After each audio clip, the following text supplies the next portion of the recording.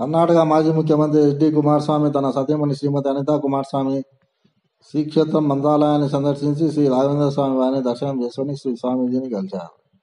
HS స్వామీజీ ఆయనకు జ్ఞాపిక శేషావస్థం ఫలమంత్రాక్ష అందించి ఆశీర్వదించారు. అనంతరం స్వామివారితో కలిసి శ్రీ మఠం అభివృద్ధి కార్యక్రమాలైన అభయ ఆంజనేయ స్వామి సన్నిధానము శ్రీ అభయ రామ విగ్రహం విద్యాపీఠము గోశాల తదితర కార్యక్రమాల సందర్శించి శ్రీమఠం వేస్తున్న అభివృద్ధి కార్యక్రమాల పట్ల హర్షం వ్యక్తం చేశారు.